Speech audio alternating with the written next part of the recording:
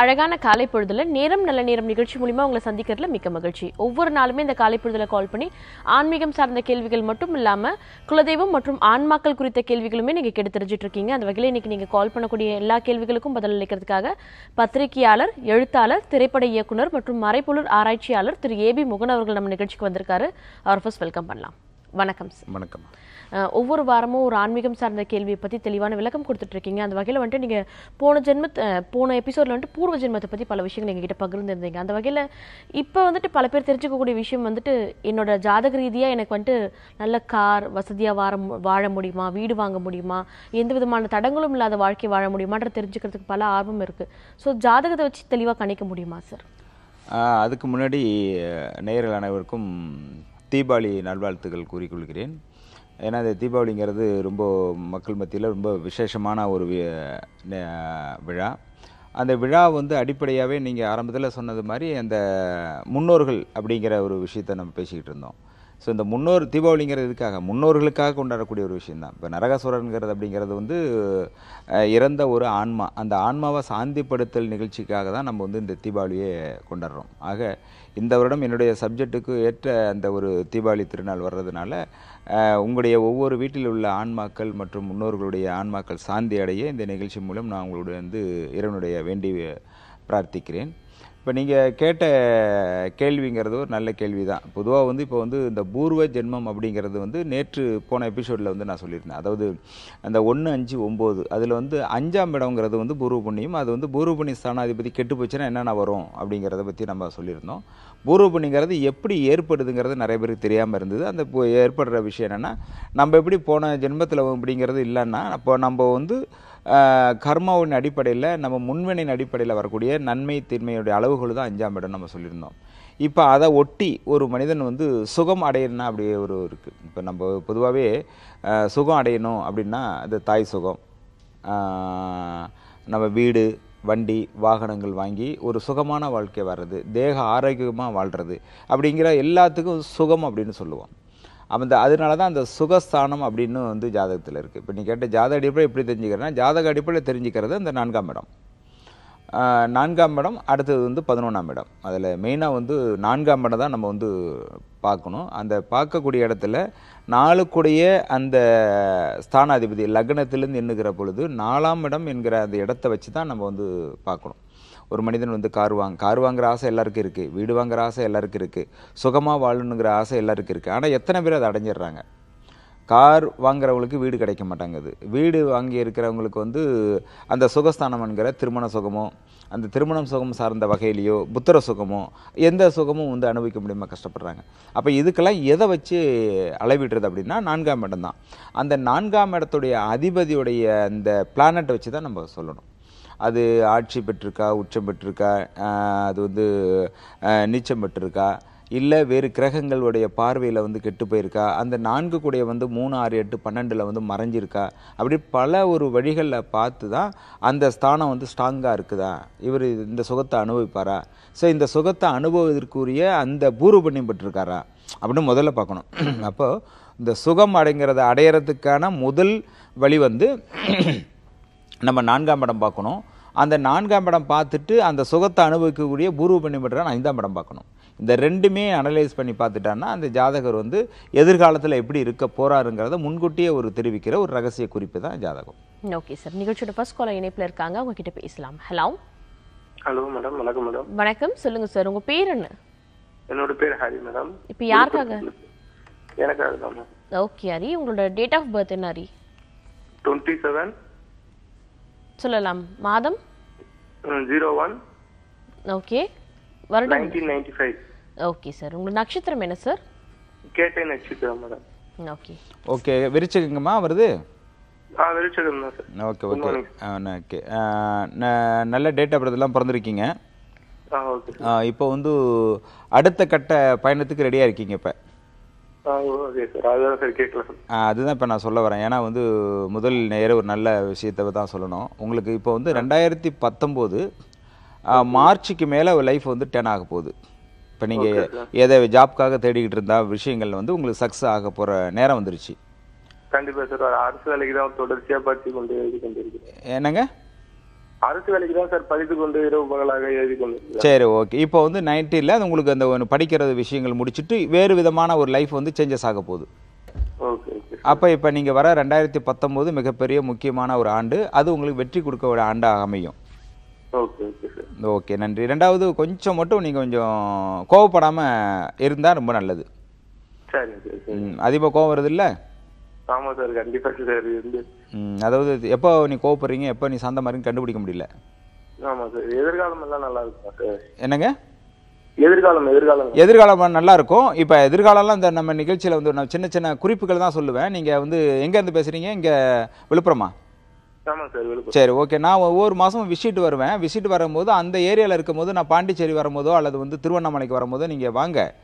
இது ஒரு அறிவியல் பூர்வமான ஒரு சப்ஜெக்ட் தான் நம்ம பேசுறது. அதனால் உங்கள் எதிர்காலம் எப்படி இருக்குங்கிறது சின்ன உங்கள் ஜாதகத்தை வச்சு நான் சொல்கிறேன் அது உங்கள் வாழ்க்கைக்கு ரொம்ப சிறப்பாக இருக்குங்க. சரிங்க சார் ரொம்ப நன்றி நன்றி. நன்றி சார் கால் பண்ணதுக்கு. அடுத்த அழைப்பாளர் இணைப்பில் இருக்காங்க. அவங்க கிட்ட பேசலாம். ஹலோ ஹலோ வணக்கம் சார். சொல்லுங்க உங்க பேர் என்ன எங்கிருந்து கூப்பிடுறீங்க? வணக்கம் மேடம். நான் திருச்சிலேருந்து பேசுறேன். என் பேர் சிவகரீஷ் ஓகே சார். இப்போ யாருக்காக சார் கேட்டு தெரிஞ்சுக்க போறீங்க? எனக்காக தான் மேடம். உங்க டேட் ஆஃப் பர்த் என்ன சார்? இருபத்தொன்பது ஆறு ஆயிரத்தி தொள்ளாயிரத்தி எழுபத்தி ஆறு ஓகே சார். உங்களோட நட்சத்திரம்? புனபூஷ நட்சத்திரம். ஓகே. சார் இணைப்பில் தான் இருக்காரு? பேசலாம் ரிஷப லக்கணமா? ஆமா சார். இந்த ரிஷப லக்கணம் மிதுன ராசி. மிதுன ராசி. ஓகே ரொம்ப நல்ல டேட் ஆஃப் பர்த் தான் அது. ஆயிரத்தி தொள்ளாயிரத்தி தொண்ணூத்தொம்பது ரெண்டாயிரத்தில் லைஃப் வந்து சேஞ்சஸ் ஆயிடுச்சு உங்களுக்கு. ஆமா சார். ஆமாம் அதுலேருந்து ஸ்டெப் பை ஸ்டெப்பாக நீங்கள் வந்து சக்ஸஸ் தான் அடையணும் ஜாதக ரீதியாக ஆனால் நீங்கள் அந்த சக்ஸஸ் கரெக்டாக நீ அடையிறீங்களான்னு தெரியல எனக்கு. இல்ல சார் பண்ணல. ஆமாம் அந்த ரெண்டாயிரத்துலேருந்தே அப்படியே ரெண்டாயிரத்துலேருந்து இந்த பன்னெண்டு பதினெட்டு வருஷமாக அப்படியே கொஞ்சம் அப் டவுன் அப் டவுனாக போயிட்டுருக்கு. ஒரு ஸ்டடியாக உங்களுக்கு ஒரு இது அமையல. ஆமாம் அதுக்கு என்ன காரணம்னா அது உங்கள் நீங்களும் ஒரு காரணம். ஜாதகமும் ஒரு காரணம். அது நீங்களும் என்ன காரணம்னா பொதுவாகவே ஒரு ஒரு குழப்ப சிந்தனை உங்களுக்கு நிறைய இருக்குது ஆமா சார் இந்த பக்கம் போகிறதா இந்த பக்கம் போகிறதான்னா நீங்களே ஒரு ஸ்ட்ராங்காக ஒரு முடிவு எடுக்க மாட்டேங்கிறீங்களே? எதுக்குல சார். முன்னாடி ரெண்டாயிரத்தி ஏழுல எல்லாம் எடுக்காம விட்டுருச்சு என்னங்க? ரெண்டாயிரத்தி ஏழுல எல்லாம் எடுக்காம விட்டுட்டேன். எடுக்காம விட்டீங்க. ஆமா சார். ஆமாம் ஏன்னா அடிக்கடி உங்களுக்கு வந்து சக்ஸஸ் வந்துக்கிட்டே இருக்குது ம். அந்த சக்ஸஸ் எதுக்குள்ளே போய் உங்களை லைஃப்பை வந்து அதை ஸ்ட்ராங்காக உட்காந்து அதுலேருந்து உங்களுக்கு வெற்றி பெறதுக்கு பாருங்கிறத ஒரு தயக்கம் வந்துடுது ஆமா சார். இது தொடர்ச்சியாக வந்துட்டு இருக்கு கிட்டத்தட்ட வயது நிறை- நிறைய ஆயிடுச்சு இல்லையா? ஆமா சார். ஸோ இப்போ இத்தனை வயசு வரைக்கும் உங்களுக்கு வந்து போராடிங்கன்னா நாற்பத்தி வயசு வரைக்கும் நீங்கள் வந்து ஏதோ அப்படியே ஊட்டி ஊட்டி ஓடிக்கிட்டு இருக்கீங்க. நல்ல திறமைசாலி நீங்கள் நடக்குது. ஆமாம் நல்ல திறமைசாலி. ஆனால் வந்து ஒரு பயம் தேவையில்லாத வந்துடுதே உங்களுக்கு. இருக்கு. எஸ் இப்போ இந்த பயத்தை போக்குறதுக்கான ஒரே வழி என்கிட்ட தான் இருக்குது ஹலோ ஏன்னா இப்போ நோயை தெரிஞ்சு தான் ட்ரீட்மெண்ட் கொடுக்குற மாதிரி. உங்கள் யார் என்னங்கிறத நான் உங்கள் முகம் பார்க்காமையே நான் சொல்கிறேன் அப்போ இந்த பிளானட் வந்து உங்கள் ஜாதகத்தில் கெட்டு போச்சு இந்த காஸ்மிக் எனர்ஜி உங்கள் உடம்புல கிடைக்கல. அது கிடைக்காத பொழுது அந்த காஸ்மிக் எனர்ஜி உங்கள் உடம்புல எவ்வளோ தூரம் அதிகரிக்கணுமோ அதிகரிச்சிட்டோம்னா ஆட்டோமேட்டிக்காக இந்த மைண்டு வந்து அப்படியே ஒன்று ஸ்ட்ராங் ஆகிடும் நீங்கள் அதுக்கப்புறம் எது சக் போகணும்னு நினைக்கிறீங்களோ அதை சக்ஸஸ் லைன் நோக்கி போய் அது இழுத்துட்டு போகும். ஓகே நன்றி. நேரம் குறைவாக இருக்குது அதனால் விரிவாக சொல்ல முடியல. எங்கள் எந்த ஊரில் இருக்கேன் அப்போ வந்து திருச்சி நான் வரும்போது என்னை வந்து நீங்கள் உங்கள் ஜாதகம் எடுத்துகிட்டு வாங்க. உங்களுக்குரிய அந்த ஒரு வெற்றி அடையிறதுக்கு என்னால் என்ன உதவி செய்யுமோ அதை நான் செய்கிறேன் நிகழ்ச்சியோட தொடக்கத்துல வந்துட்டு தீபாவளின்றது வந்துட்டு முன்னோர்களை சாந்தப்படுத்தக்கூடிய ஒரு நிகழ்ச்சி அப்படின்னு சொல்லியிருந்தீங்க. பட் இப்ப இருக்க காலகட்டத்துல தீபாவளின்னு எடுத்துக்கிட்டா பட்டாசு வெடிக்கிறதும் புது துணி உடுத்துறதும் அது மட்டும் தான் இப்ப இருக்க ஜென்ரேஷனுக்கு தெரிஞ்சிருக்கு. ஸோ முன்னோர்களுக்கு எந்த வகையில சார் படையல் போடணும் இந்த தீபாவளியில? அதான் இப்போது இந்த முன்னோர்கள் அப்படிங்கிற விஷயத்தை பார்த்தீங்கன்னா நிறைய பேர் வந்து வீட்டுக்குள்ளேயே செஞ்சுக்கிறாங்க. இப்போ வந்து மிகப்பெரிய ஒரு தவறான செயல் வந்து மிக நீண்ட காலமாக வந்துக்கிட்டு இருக்குது அப்போ நீண்ட காலமாக வர்றதுங்கிறது என்னென்னா முன்னோர்கள் படையல் போடுறதுங்கிறதோ அவங்களுக்கு திதி கொடுக்குறதுங்கிறதோ எல்லாமே வந்து வீட்டுக்குள்ளே போயிடுறாங்க. ஆனால் உண்மையாகவே ஐதீகமாக பார்த்தீங்கன்னா வீட்டுக்குள்ளேயே போடக்கூடாது. தெய்வ வழிபாடு வீட்டுக்குள்ளேயும் இறந்த ஆன்மாக்களுடைய வழிபாடு வந்து வெளியில் தான் நம்ம முன்னோர்கள் பண்ணிக்கிட்டு இருந்தாங்க. அப்போ வந்து அதனால தான் கடற்கரையிலேயோ ஆறு ஏரி குளங்கள் மரத்தடியில் வந்து நீர்நிலைகள் வைக்கிற போது தான் நம்ம முன்னோர்கள் வந்து கொடுத்த ஒரு பழக்கம் ஆயிடுச்சு அந்த காலத்தில் அது மாதிரி கொடுக்கறதுக்கு நீர்நிலைகள் நிறையா இருந்தது. அதனால் இப்போ கொடுத்தாங்க. இப்போ நீர்நிலைகள் இல்லாதங்கிறதுனால வீட்டுக்குள்ளே கொடுக்கக்கூடிய ஒரு பழக்கம் வந்துருச்சு. அது வந்து நீர்நிலை இல்லாதனால வந்து வீட்டுக்குள்ளே பண்ணுறங்கிறத வந்து நம்மளாவே ஏற்படுத்திக்கிட்ட ஒன்று தானே ஒழிய ஆனால் முறைப்படி வந்து ஐதீகமாக பார்த்தீங்கன்னா நீங்கள் ஆன்மாக்கள் வெளியில் போயிடுச்சுன்னா வெளியில் தானே கொடுக்கணும்.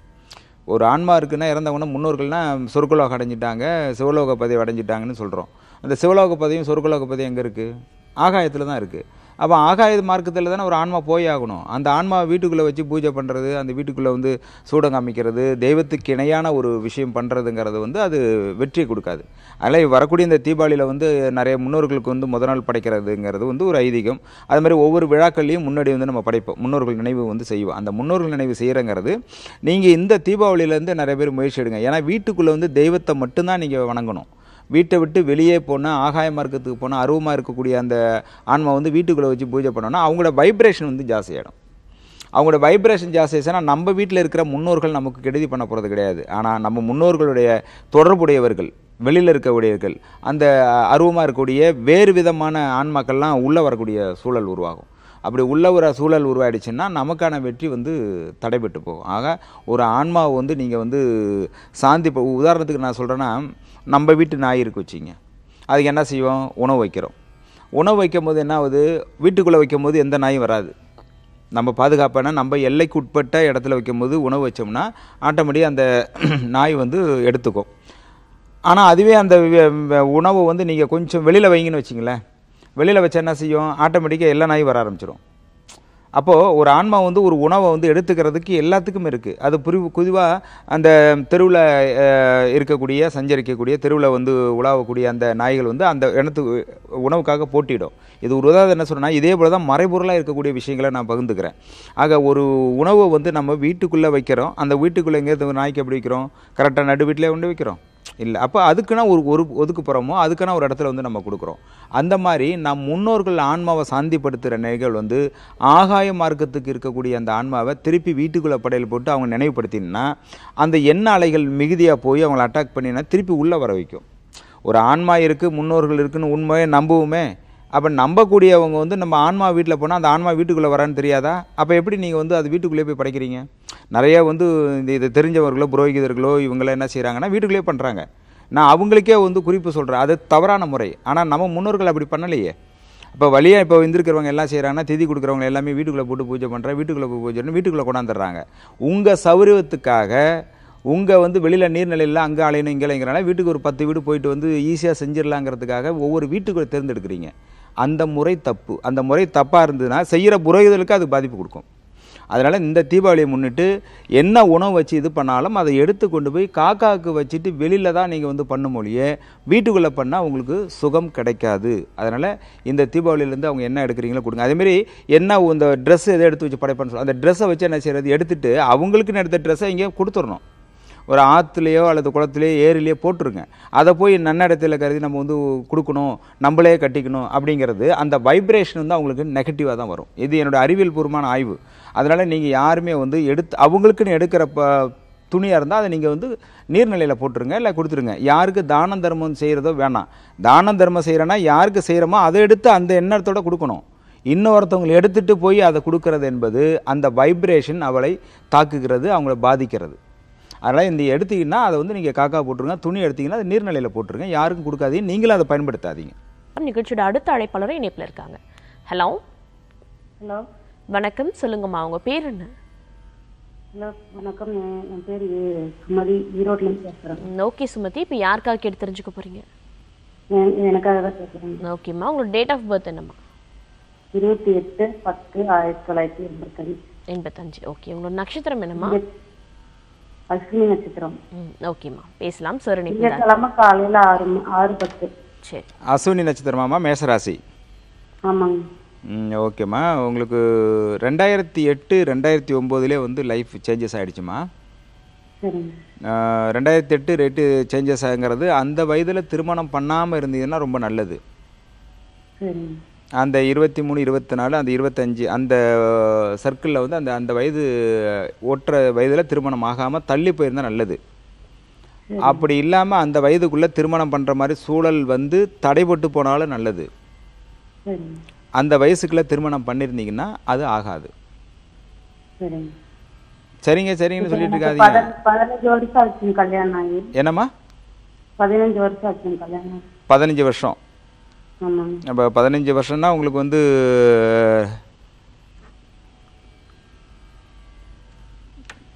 கிட்டத்தட்ட வந்து அந்த இதுக்குள்ள தான் வரீங்க. ஆமாங்க. ஆமாம் அது நான் சொன்ன வயசுக்குள்ளே தான் வரீங்க. திருமணம் அதை ஒட்டி தான் நடந்திருக்கு. ஆனால் அது அது வந்து சிறப்பாக இல்லையம்மா? ஆமாங்க. ஒன்று கணவனோட விட்டு வெளில வந்துடணும் இல்லை கணவனுக்குள்ளே இருந்து பிரிஞ்சிடணும் இல்லை கணவன் இல்லாமல் இருக்கணும். இல்ல இல்லைங்க அப்படியே தான் இல்லை. இருந்து ரெண்டு பேரும் ஒன்றா தான் இருக்கோம். ஆனா சின்ன சின்ன பிரச்சனைகள் அவ்வளோதான் சரி அதான் இப்போ இப்போ அப்படி வந்து நீங்கள் அட்ஜஸ்ட் பண்ணி போகிறீங்க ஆமாங்க. இல்லைன்னா நீ எப்பயும் பிரிஞ்சிருக்கணுமே. ஆமாங்க. ம் அதுதான் கேட்குறேன் ஏன்னா அது வந்து சுகம் கிடைக்கல உங்களுக்கு. அது வந்து உங்களுக்கு டெய்லி சண்டை சண்டை சண்டை பிரச்சனை பிரச்சனை பிரச்சனை கருத்து முரண்பாடாகவே ஓடிக்கிட்டு இருக்கு. ஆமாங்க. ஆமாம் இது வந்து உங்கள் கணவர் இருக்கார் பக்கத்தில். இல்லைங்க வேலைக்கு இருக்காங்க நைட் ஷிஃப்ட் சரி அவர் வந்தால் சொல்லுங்கள் என்ன ஊர் இங்கே என்ன ஊர்லேருந்து பேசுனீங்க ஈரோடுங்க. சரி ஈரோடு. நான் அங்கே கோயம்புத்தூர் வருவேன். உங்கள் ஜாதகத்தை வந்து சில விஷயங்கள் வந்து இந்த சனியோட ஆதிக்கம் அதிகமாக இருக்குது உங்கள் ஜாதகத்தில். அதை வந்து நீங்கள் வந்து அதை சரி பண்ணுறதுக்கான இதை நான் சொல்கிறேன் ஒருவேளை அவர் நம்பாமல் இருந்தாருன்னா நீங்கள் ஃபோன் நம்பர் கொடுத்து என்கிட்ட பேச சொல்லுங்கள் நானே பேசுகிறேன் ஏன்னா இந்த ஒரு இப்படியே போயிடுச்சுன்னா ஒரு விரக்தியில் இருக்கீங்க நீங்கள் ஆமாம் இது வந்து அடிக்கடி ஒரு சூசைட் தாட் வருதாம்மா உங்களுக்கு? ஆமாங்க. சரி ஓகே. நான் நிகழ்ச்சியில் வந்து அதிகமாக உங்களை பற்றி சொல்லுவது அவ்வளோ நாகரிகமாக இருக்காது. நீங்கள் வந்து நான் ஈரோடுக்கு வருகிற பொழுது நீங்கள் உங்கள் ஜாதகத்தையோ இதையோ உங்கள் கணவரை அழைச்சிட்டு வாங்க. உங்களுக்கு கொஞ்சம் டைம் இப்போ சரியில்லாமல் இருக்குது நான் அதை அது என்னன்னு பார்த்து உங்களுக்கு சொல்கிறேன் நன்றிம்மா. தேங்க்யூம்மா கால் பண்ணதுக்கு. நிறைய நேர் கால் பண்றாங்க சார் நீங்க இந்த நேருக்கும் சொன்ன மாதிரி எல்லாருக்குமே விளக்கமான பதில் வந்துட்டு நேரலையில சொல்ல முடியாது. ஸோ உங்களுக்கு நேரடியாக வந்து மீட் பண்ணணும்னா எங்க வந்து மீட் பண்ணலாம். உங்களோட விசிட்டை பத்தி சொல்லுங்க. அதை இப்போ வந்து நான் பத்தாம் தேதி வரைக்கும் இப்போ நான் சென்னையில் இருக்கேன். தீபாவளி ஒட்டி வருது. அதுக்கப்புறம் வந்து தீபாவளி கழிச்சு பத்தாம் தேதி வரைக்கும் சென்னையில் இருக்கேன். அதுக்கப்புறம் வந்து பதினொன்று பன்னெண்டு வந்து மதுரைக்கு விசிட் பண்ணுறேன் மதுரைக்கு முடிச்சதுக்கப்புறம் அடுத்தது பதினாலு பதினஞ்சு திருச்சிக்கு வர்றேன். திருச்சி முடிச்சுட்டு அடுத்தது வந்து பத்தொம்போது இருபது வந்து தஞ்சாவூரில் இருக்கேன். ஸோ இந்த இதில் இருபதாம் தேதி வரைக்கும் நிறைய இது தான் அப்போ அந்த வட்டத்தில் இருக்கக்கூடிய அந்த தூரத்தில் எவ்வளோ குறிப்பிட்ட டிஸ்டன்ஸில் இருக்கிறவங்க வந்து எந்த ஊர் பக்கமோ அந்த ஊரில் வந்து வரலாம். வந்துட்டாங்கன்னா அவங்களுக்கான விஷயங்களை வந்து துல்லியமாக தெளிவாக வந்து இது ஒரு நன்மை அடைவதற்கான ஒரு வழிகாட்டியாக அந்த நிச்சயமாக அவங்க பயன்படுத்திக்கிற வாய்ப்பாக இருக்கும். ஓகே நீங்க ஒவ்வொரு முறையும் நிகழ்ச்சியில் வந்துட்டு சயின்டிஃபிக்கான நிறைய விஷயங்களை நான் ப்ரூவ் பண்ணுவேன் அப்படின்னு சொல்லியிருக்கீங்க. ஸோ உங்களை வந்து மீட் பண்ணும்போது என்னென்ன விஷயங்களை கொண்டு வர வேண்டியிருக்கும் சார் உங்களை போய்? அதான் இப்போ வந்து நிறைய இருக்குது இப்போ குலசாமி தெரியல அப்படின்னு கேட்டாங்கன்னா அந்த சப்ஜெக்ட்டுக்காக மட்டும்னா குலசாமி யாருன்னு கண்டுபிடிச்சி கொடுப்பேன். இல்லை நம்ம ஆன்மாக்கள் வந்து சாந்தி அடைஞ்சிட்டாங்களா? இல்லை இருக்கிறாங்க. அவங்க திருப்தி அடைஞ்சிட்டாங்களா? இல்லையான்னு தெரிஞ்சுக்கிறேன்னா அதை வந்து இதை பார்த்து இருக்காங்களா இல்லைன்னு அதை நான் சயின்டிஃபிக்காக சொல்லுவேன். நம்ம வீடு சம்மந்தமான ஒரு பாதிப்பு இருக்குது போகிறது அப்படின்னா வீடோட எனர்ஜி என்ன இருக்குது எர்த் எனர்ஜி எப்படி இருக்குது அதுக்கான விளைவு என்னன்னு சொல்கிறது எந்த பிரச்சனையில் ஒரு பாதிப்பு அடைஞ்சிருக்கிறாங்களோ அந்த பிரச்சனையை துல்லியமாக அழைச்சி அதுக்கான தீர்வு கொடுக்குறது தான் இது. அது வந்து அறிவியல் பூர்வமாகவே இருக்கும். அது நான் ரொம்ப டீப் சப்ஜெக்ட் போய் நிறைய பேருக்கு அது வந்து ஒரு குழப்பம் இருக்கும். இவர் என்ன ஆன்மாங்கிறாரு குலசாமிங்கிறாரு எர்த்தனஞ்சிங்கிறாருன்னா இந்த சப்ஜெக்ட்டுக்கே வராத ஒரு புதுசாக ஒன்று சொல்லிகிட்டு இருக்கிறனால இருக்குது ஆனால் இதுதான் யாருமே கண்டறியாமல் மறைபொருளாக இருக்கக்கூடிய ஒரு விஷயம். அது அந்த காலத்துலேருந்து அப்படிலேருந்து இருக்குது அதை நான் இப்போ அதை ஃபைண்ட் அவுட் பண்ணி இதுதான் ஒரு மூல காரணம் அப்படின்னு ஒரு நான் எடுக்கிறேன். அதனால் அது வந்து துல்லியமாகவே இருக்கும். அது அறிவியல் பூர்வமாக தான் நான் எப்பவுமே என்னுடைய கிளைண்ட்டுக்கெலாம் வந்து பண்ணுறேன் முன்னாடியே உட்காந்துட்டா எங்களுக்கு என்ன பிரச்சனை பண்ணி எது பண்ணணும்னு கேட்கறதில்ல இப்போ எப்படி லைவில் வந்து ஆரம்பத்தில் எடுத்தோடனே அவங்க பிரச்சனை சொல்லுவாங்க. அதெல்லாம் கொஞ்சம் கொஞ்சமாக சொல்லாமல் சொல்லாமல் ஆஃப் பண்ணி இப்போ நம்ம நிகழ்ச்சி பார்க்குற நேயர்கள்னா கால் பண்ணால் போதுங்கிற மாதிரி வந்துடுது ஸோ அவங்களுடைய இப்போ அட் ப்ரெசென்ட் என்ன என்ன பண்ணுறாங்க அவங்க யாருங்கிறத விஷயத்த நம்ம வந்து முகம் தெரியாமல் ஒரு டேட்டா பரத்தை மட்டும் சொல்லுகிற பொழுது ஜாதகம் இன்னும் இருந்து வீடு இருந்துன்னா இன்னும் துல்லியமாக அவங்களுடைய பிரச்சனைக்கு தீர்வு காணக்கூடிய ஒரு வாய்ப்பாக இருக்கும்.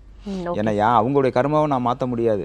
அவங்களுடைய கர்மாவுடைய பலனை வந்து நான் குறைச்சி அதை வந்து அவங்களுக்கு வெற்றி கொடுப்பதற்கான ஒரு வழி ஏற்படுத்தி கொடுக்க முடியும். ஓகே சார் உங்களோட கருத்தரங்கம் பத்தி சொல்லுங்க சார் அது இந்த கருத்தரம் இப்போ இந்த நவம்பருக்குள்ளே பண்ணுறேன் அது வந்து நவம்பர் இந்த தீபாவளிலாம் முடிச்சதுக்கு பிறகு ஹால் பார்த்துட்டு இருக்கேன். அந்த முடிச்சதுக்கப்புறம் எப்படியா இருந்தாலும் இந்த நவம்பர் எண்டுக்குள்ளே நம்ம இதை பற்றின ஒரு பெரிய விழிப்புணர்ச்சி கருத்தரங்கம் பண்ணுவேன்.